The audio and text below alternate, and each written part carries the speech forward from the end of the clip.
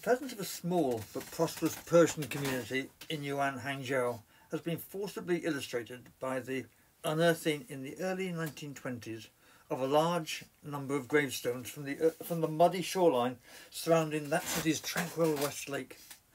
Of the original uh, cache of over 100 gravestones, only 21 have survived China's subsequent turbulent history, and today 20 of those tombstones are on display at Hangzhou's restored uh, Phoenix Mosque complex, which was originally built in, eight, uh, in 1281 by a Persian notable and financial contributor to Kublai Khan's war effort in Turkestan.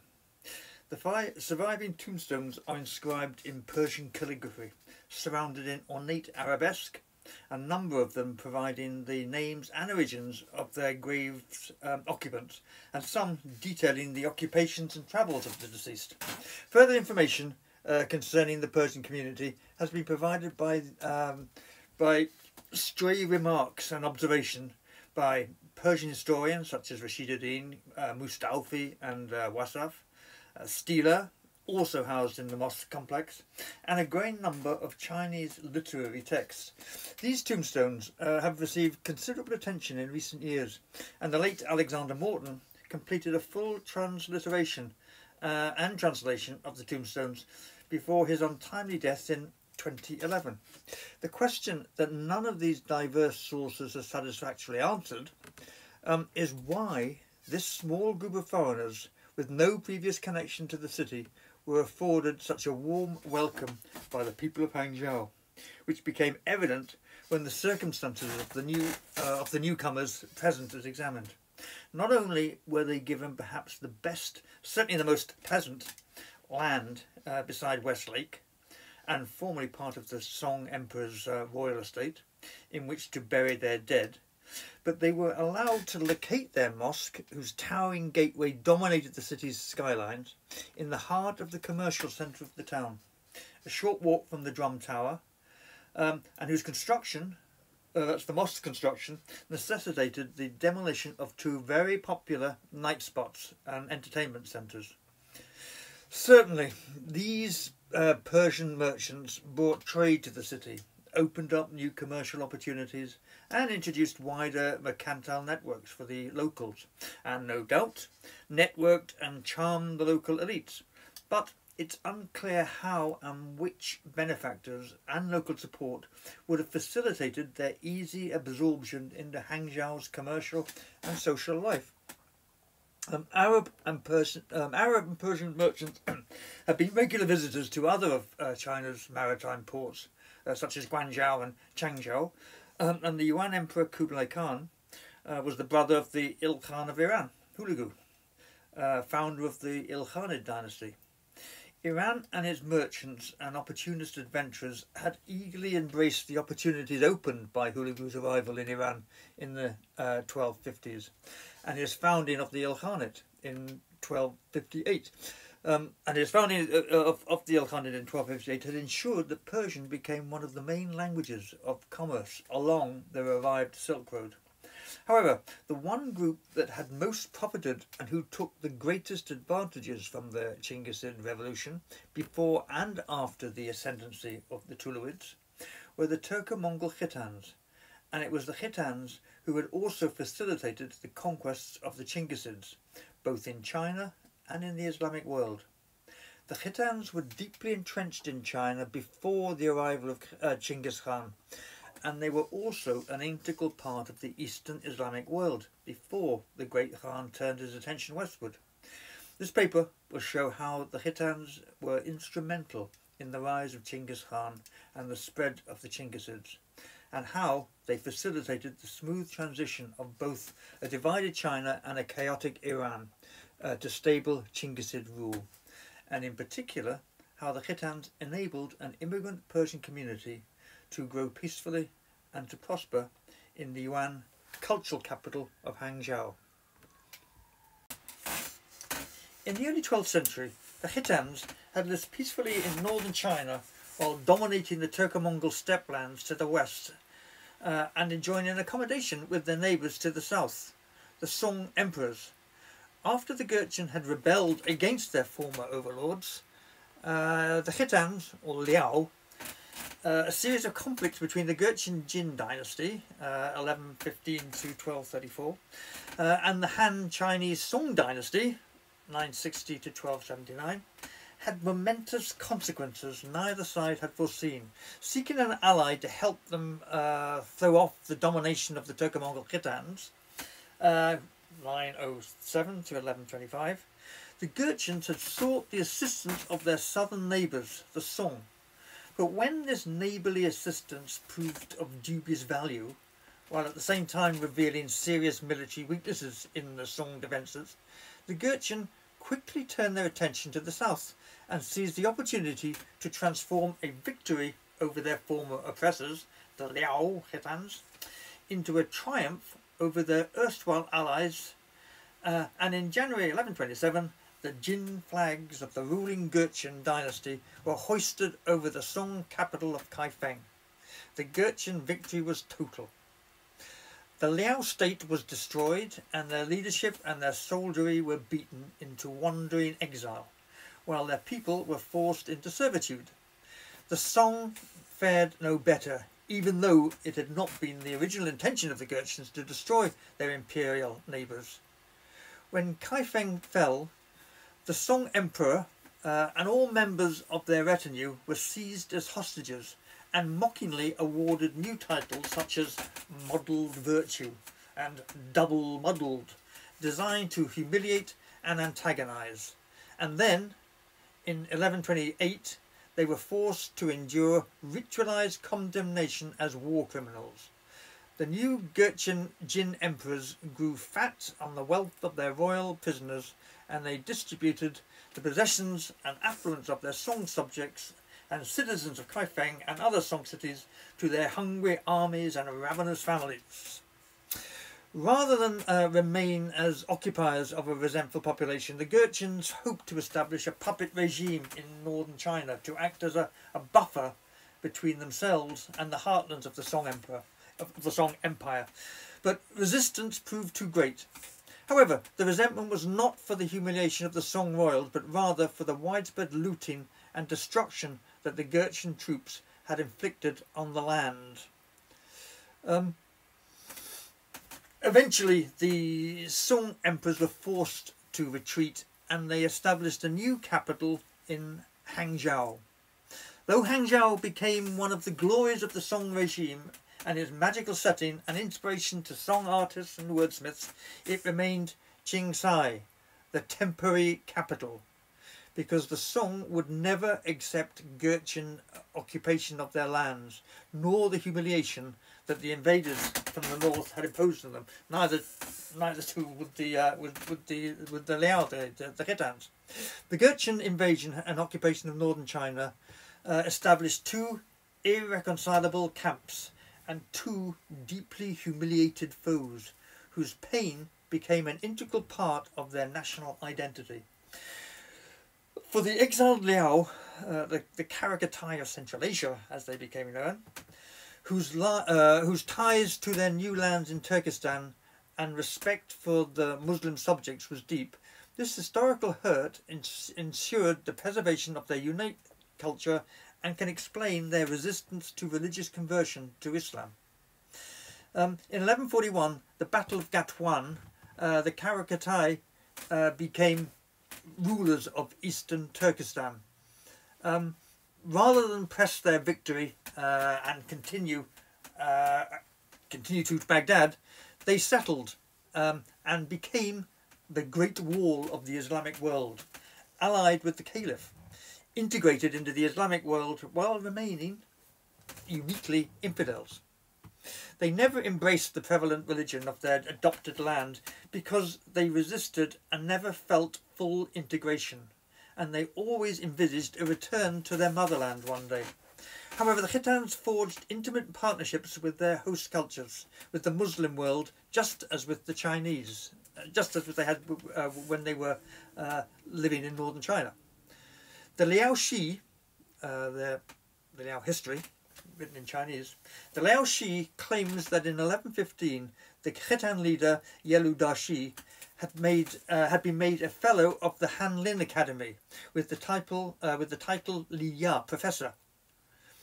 Um, I quote Tashi Dashi with his army rested in Samarkand 90 days the king of the three million Huai Mohammedans came to offer his submission and brought products of his country as tribute.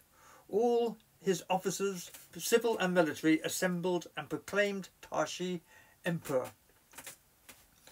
Um, their need to return to northern China, uh, is the, the, the Khitans, ensured that they never fully integrated into the Muslim world, which had eventually embraced them. They waited in the certainty that inevitably the Gurchins would fall and they would be reunited with their enslaved brethren and ancestral lands. The, La the Liao or Khitans, both those uh, who had been ignominiously expelled from their uh, ancestral lands and the others who had been forced into a life of servitude and humiliation, had never forgotten the indignities of the early 12th century. Those who had chosen exile had gradually settled and prospered in Turkestan and had become an integral part of the Islamic world, ruling over their Muslim subjects with tolerance and justice, so much so that in an unprecedented move, the Caliph of Baghdad had sought their infidel hands to seal a treaty of friendship and mutual defence. The Karakai, as they became known in the West, vowed to protect the Islamic world's eastern borders and to become a great wall against the forces of barbar barbarity who would threaten the faithful. The infidel princes of the Karakai would be celebrated in Islamic uh, mirrors for princes as paradigms of virtue and justice, whose example should be instructive and whose actions should be reflected in the behaviour of just and benevolent princes. And I quote, Now, his, the Khitan rulers, justice has no bounds, nor there any limit to the effectiveness of his commands. And indeed, in these two things is comprised the essence of kingship. Mighty praise for um, infidel ruler. Um, it should be noted uh, that the Mirror Princes uh, omitted to mention that these um, great rulers were infidels. The king and queens of the Karakai had been, and I noted queens, kings and queens, had been content to settle and rule over the lands of Turkestan and allow their Muslim subjects freedom to practice and proselytize their faith. Their aim was not to conquer and subjugate, nor to colonize and expand their territory. Their ambitions were modest and their, uh, and their aims were limited because their ultimate goal was not the establishment of a Khitan state in Turkestan, but the reclamation of their homeland and the ousting of the usurpers of their ancestral lands in northern China. Like their one-time ally and uh, former neighbour, the Song, the Khitans had not forgotten the second decade of the 12th century and the dreadful invasion and uprising of the Gurchins and the violent expulsion of both the Song and the Khitans from northern China. Both groups watched with growing interest and apprehension as events accelerated after 1206 with the rise of Chinggis Khan. Both saw the rise of Chinggis Khan as an opportunity to end the humiliation that the Gurchins had so dramatically visited upon them in, 11, in the 1120s. Um, a common misconception peddled about Chinggis' history, designed to emphasise their distance from civilised societies and alienation from the norms of the culturally advanced and sophisticated sedentary world, is that the Mongol armies took the Sown world by surprise and imposed their victories through force of arms and shocking barbarity. In fact, Chinggis Khan achieved victory over his neighbouring lands through clever diplomacy and strategic and mutually beneficial uh, allegiances. When the great Khan turned his attention to China, he was able to find willing allies in the resident Liao, who could now finally realise their dreams and ensure the fall of the Gurchin overlords. The Liao, Khitans, happily provided intelligence and technical know-how to their fellow Turco-Mongols, who they were able to instruct in the ways of siege warfare and the administration of farming and urban communities. The Khitans were rewarded with positions of power in the Chinggisid armies and great influence in the nascent bureaucracy. As the Chinggisids advanced and the Gurchans retreated, the Song machinations in the south saw their chance of revenge and intrigue, and they too offered the invaders financial and technical assistance and valuable intelligence of the lands of the north.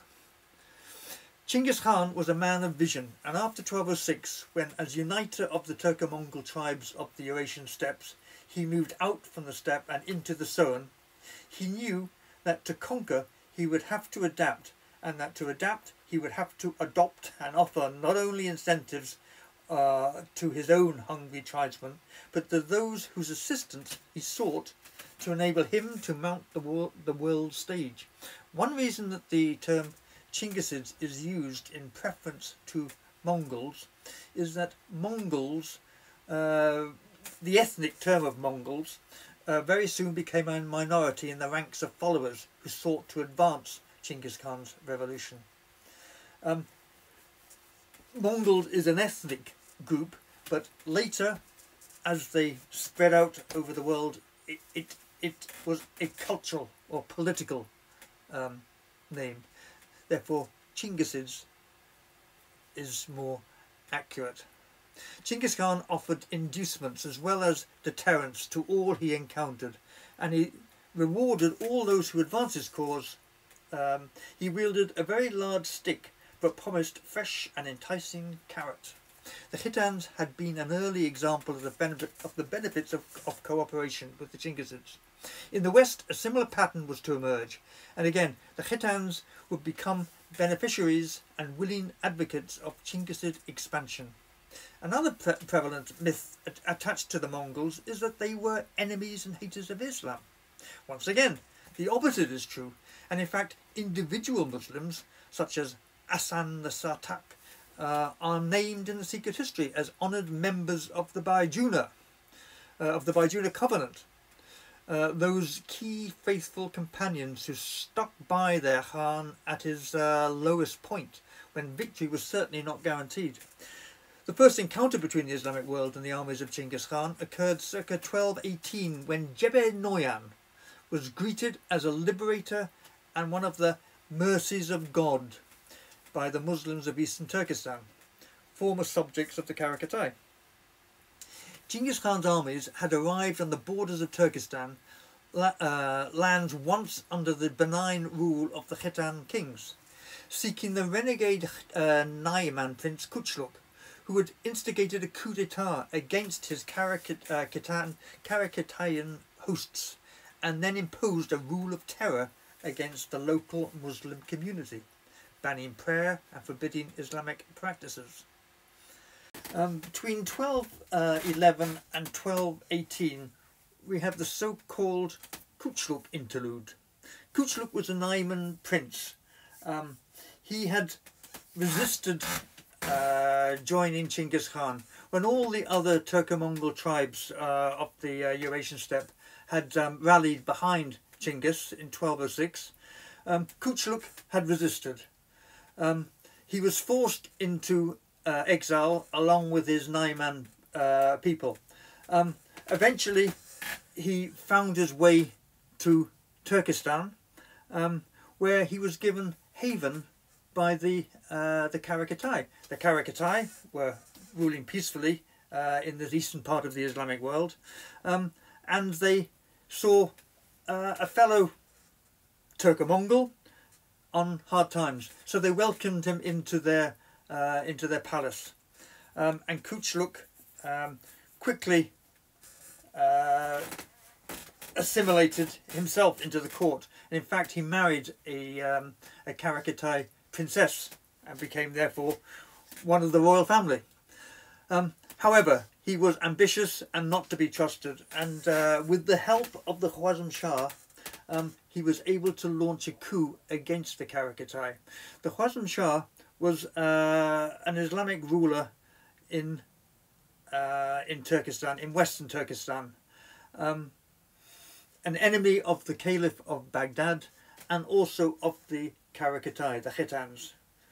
Um, they saw their opportunity and they conspired with Kuchluk to launch a coup.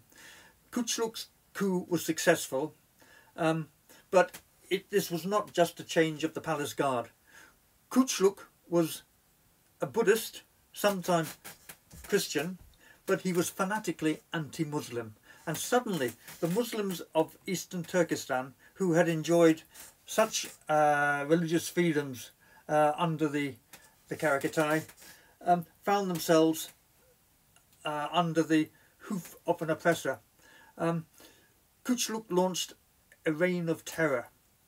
Uh, and Muslims were slaughtered, they were forbidden Friday prayers, they were forbidden to wear traditional Muslim dress. Um, and this state of affairs continued. Whether the Khwarazm Shah realised this when he um, when he allied himself with the Kuchuluk is unknown. Um, again, all changed around 1218. Um, in 1218, Jebe Noyan, a Chinggisid general, had been sent by Genghis Khan to sort things out. Um, Genghis Khan was occupied in northern China, mopping up uh, the remnants of the Gurchin regime. He didn't want another war, but he did want to uh, to sort out Kuchuluk, get rid of Kuchuluk. So Jebe went to find Kuchuluk and put an end to his uh, rebellion. Um, when he arrived, when Jebe Noyan and the Chinggisid army arrived on the borders of Turkestan, they were welcomed by the Muslims there. The Muslim world opened its doors gratefully to the forces of Genghis Khan in 1218. Why? Well, First, their experiences with Turco-Mongols had been good. They had uh, they had experienced uh, good times under the Karakatai. They also knew that Jebe was there to kill Kuchuk, to put an end to their oppressor. And for this reason, Jebe was welcomed. Um, he arrived and very quickly apprehended Kuchuluk, uh, who was killed himself, executed. Um, Kuchuluk was executed on the doors of Kashgar. He was uh, crucified to the door on the doors of Kashgar, just as he, some years previously, had crucified the imam of that city uh, on the doors of his own mosque. Um, Jebe put an end to the rule of Kuchuluk's terror uh, and eastern Turkestan became the first Muslim province of the Chinggisid Empire. The Chinggisids were welcomed. Um, Eastern Turkestan, formerly under the rule of the Karakatai, became the first Muslim province of the Chinggisid Empire, and its Uyghur, Khitan and Persian subjects became trusted and influential agents of this unstoppable machine. Um, the absorption of Turco-Persian uh, Turkestan into the Chinggisid Empire was to have a direct bearing on the latter history of the uh, of Hangzhou and the emergence of an influential Persian community of merchants in the city post 1276. The early absorption of northern China and of Turkestan were greatly facilitated by the presence of cooperative ethnic Khitans, who were fully conversant with local conditions and who had at least a working relationship with local groups and peoples, though often this was an uh, extremely close symbiotic or even integrated alliance.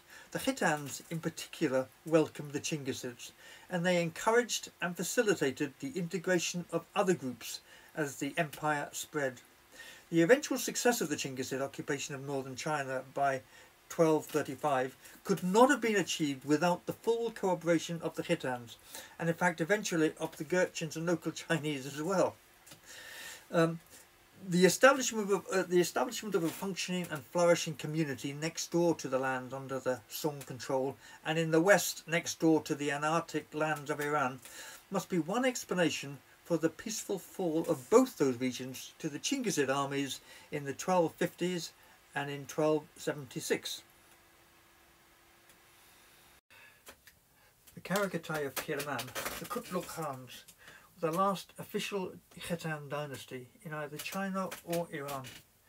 In both countries, they had become fully integrated into the people and culture. However, ancestral mem- memories run deep, and it is highly likely that individual families were well aware of their Khitan roots. This ancestral memory might explain why Iranian traders to Hangzhou circa 1280 were so readily accepted by the local population, whose administration had, ne- had been fully had been heavily infiltrated by Khitans from the north. When these Muslim merchants arrived following Kublai's bloodless conquest of the city, former capital of the Song, uh, in 1276, they were welcomed and invited to build a mosque and extensive graveyard in the bustling centre of the city.